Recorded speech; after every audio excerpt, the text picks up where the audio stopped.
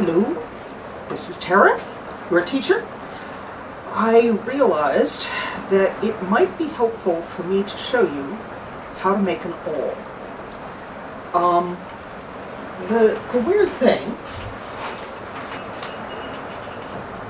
over here that I made out of pool noodles, this actually is awl storage and any other pokey bit storage. Uh, you actually use a lot of things that poke holes and stuff besides sewing needles. And it occurred to me that one of the things that makes it so you can make wrist or ring pin cushions is to have an awl. Problem is, chances are you don't have one of those. You might. Ask your grandmother if there is an ice pick. but if you don't, but you happen to have old bottle caps and nails, you can kind of sort of make one that will work in a pinch uh, with a hot glue gun. So that's what I'm going to show you how to do.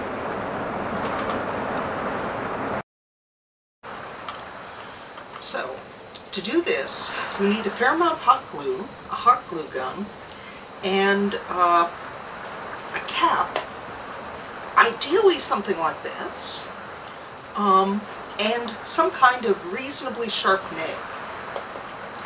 Um, the idea is you're going to make a thing that makes it so that when you push on the nail, the back of the nail does not stab into your hand. That's really the whole point. So, we're going to start with this first one by building up a base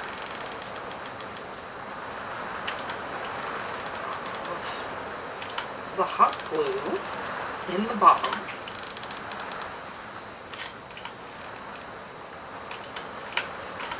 so that it's less likely to go through. I'm going to put it on high for a little bit so that I can pump out a little more hot glue.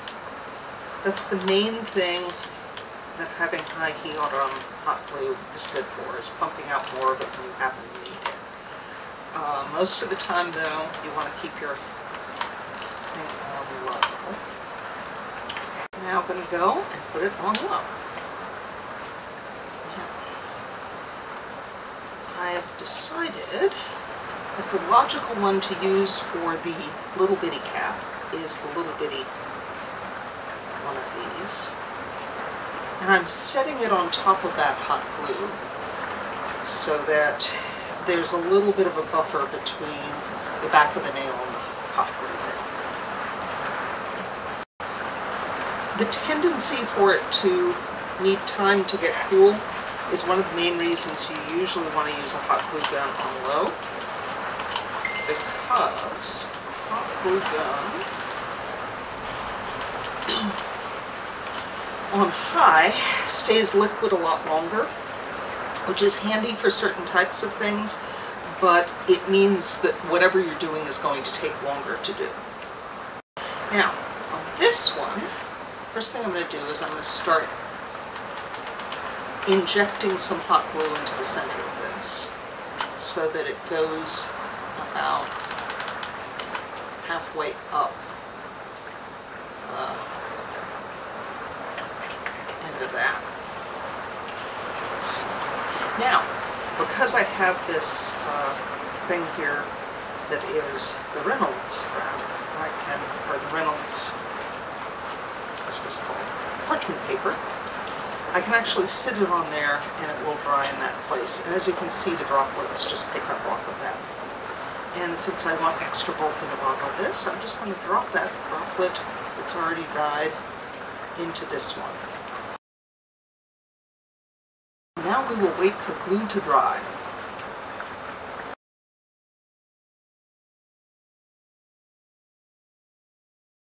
If you don't have a cap, you could also use half of a plastic Easter egg. You could literally use an eggshell. That is to say, you know, cook yourself an egg and save the eggshell. And use the half of an eggshell to make a little container that you could fill with glue to make it into a support for the nail becoming more like awl.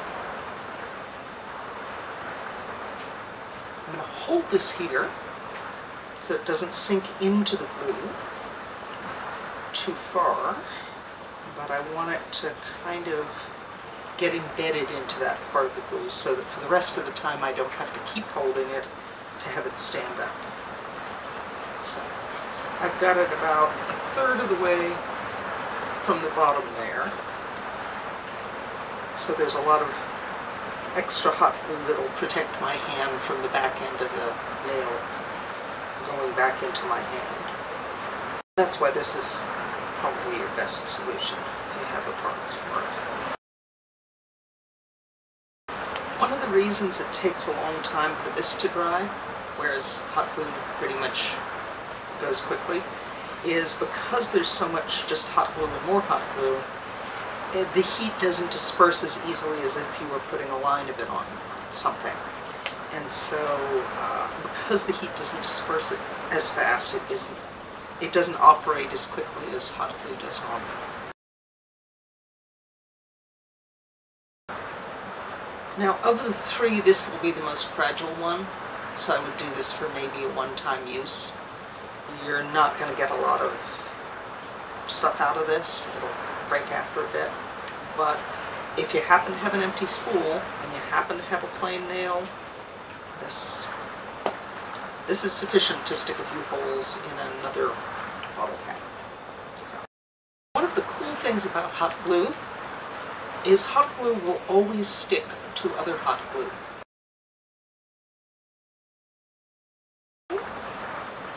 And now I have a thing that will hold it in place so I don't have to. Now, this is pretty well good and stuck. And so again, this is another one you might not use that often. Then again, it doesn't take up a lot of room. You could keep it in a drawer whenever you wanted to go and poke little holes in things. Got a pretty good one going. As I said, this one is the one that's most fragile.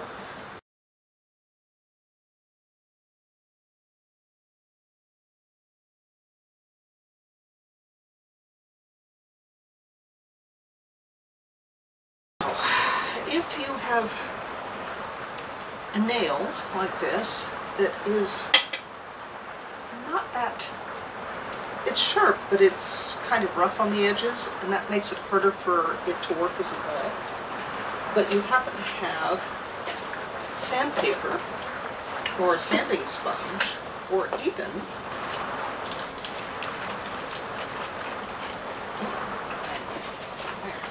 a handy household nail file. Oop.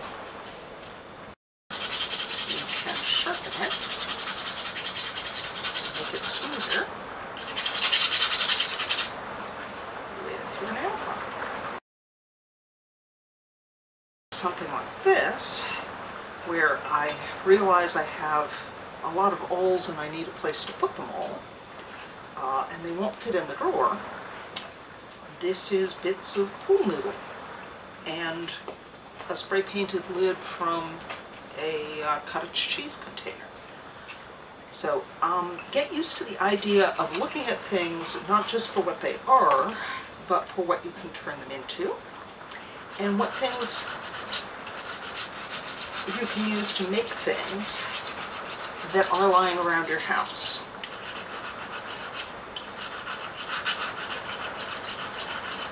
I mean, in a perfect, perfect semester, you'd be making all your costumes out of stuff you're fishing out of your garbage. We're still not quite done.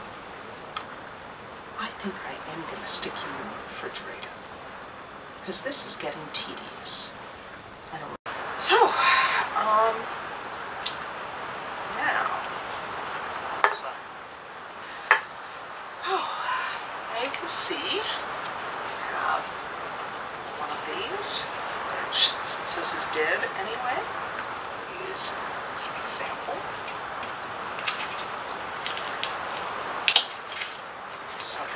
Something you can use punch holes with.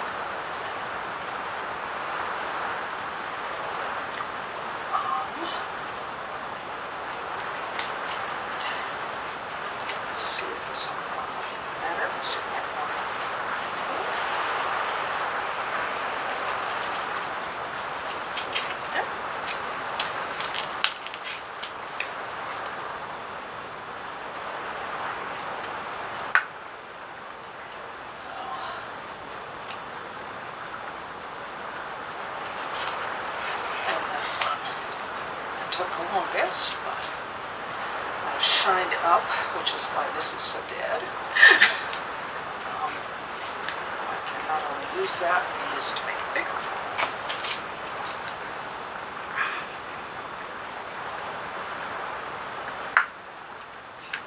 But in a pinch, it also would make a terrific shiv.